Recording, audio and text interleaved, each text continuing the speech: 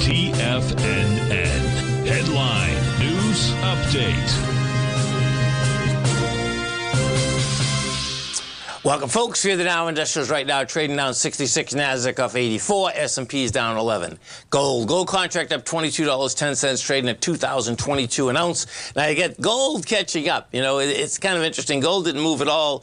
You know, last couple days when the dollar was getting smoked. Uh, bottom line, dollar's up a buck 38, but gold's catching up. As is silver. Silver's up 29 cents, $24.25 an ounce. Light sweet crude flat, $77.83 a barrel. Notes and bonds. You get the 10 year note trading up three ticks at 108.30. The 30 year down six at 115.20. And we get the 10 year right now, folks, at 4.4. Bottom line is that it was 5.02 as the high. And King Dollar. King Dollar right now is trading up 130 ticks.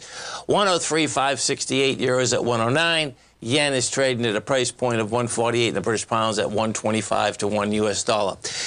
We head over to the SPY. We've been dealing with this ABC structure up 462, man. Bottom line, it wants it. You know, so we'll see how this is going to get here.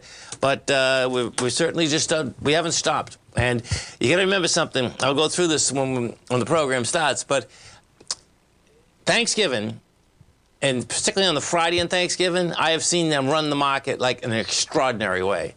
And guess what? That could happen in two seconds flat because it's going to be uh, an illiquid market.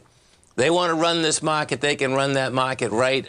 Oh my God! I mean, yeah, yeah, forget it. I mean, I'm talking in a monster way. Now, that being said, now check this out. You know, you know, Microsoft, uh, OpenAI, the whole bit. What's been going on? Well, Microsoft now is in an ABC structure up. You're at 372. Microsoft is a structure 417. And then, of course, we get, uh, let's just go to the dollar because we get NVIDIA after the close out here. That's going to move the NDX 100.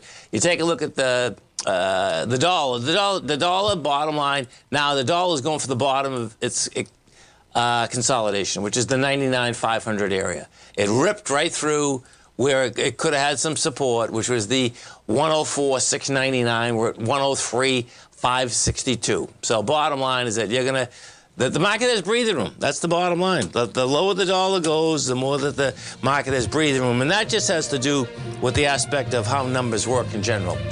Stay right there, folks. We'll come right back to recap. We have the Dow Industrials down 52, Nasdaq off 75, S&P's off 9. We'll come right back.